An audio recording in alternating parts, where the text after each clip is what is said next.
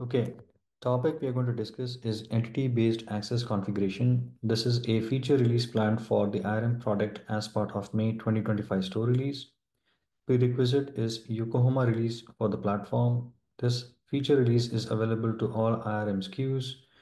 Quick introduction of this feature. Entity-based access configuration allows for granular control of user access to records that are related to the entities. This approach addresses customer need for data segregation of records that are related to entities structure.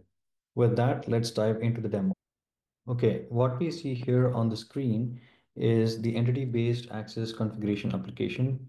This is enabled when the plugin GRC entity-based access plugin is installed. A couple of roles are installed that allow for managing the configurations or setup of this application. In the application navigator, let us navigate to the properties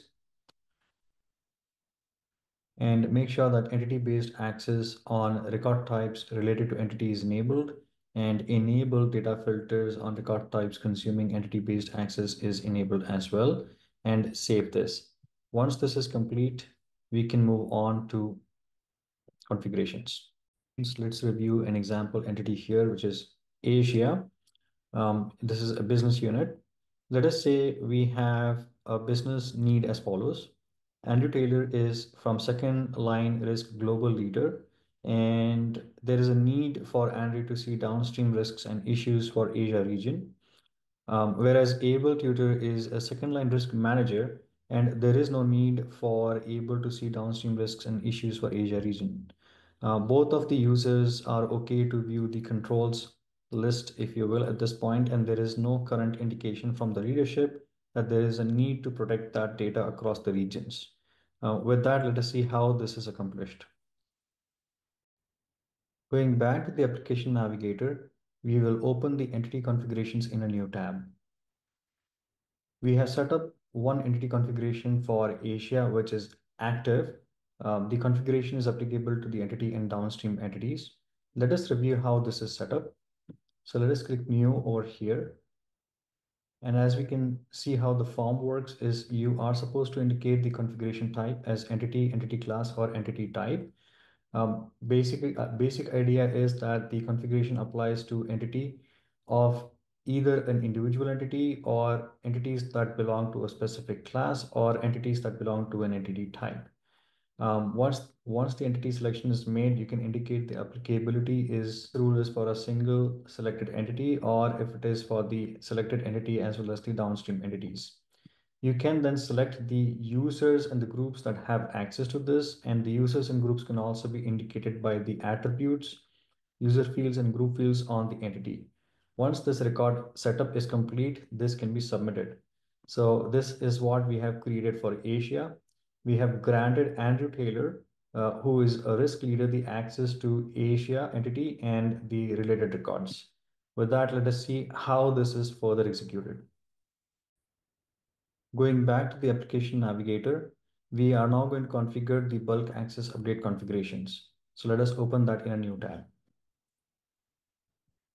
As we can see, there is an entry here for Asia, which has been set up and is enabled. So let's review that.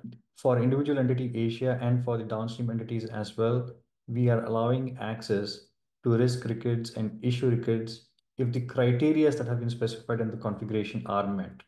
Um, a real quick view as to how this form works is um, it allows selection of different record types. So you could select among which record types the restrictions must be applied. With that, let us see how this is further executed. As a next step, I have navigated to scheduled jobs and I've searched for a scheduled job uh, that start with sync applicable entities. There are two scheduled jobs depending on the access type that you have configured, whether it is for an individual entity or entity type or class. Uh, one of these two scheduled jobs will enforce the access for now, we are going to execute the scheduled job, but in real time, these scheduled jobs continue to run on uh, an hourly basis. Once the scheduled job is run, we can now validate if the access restrictions are being enforced.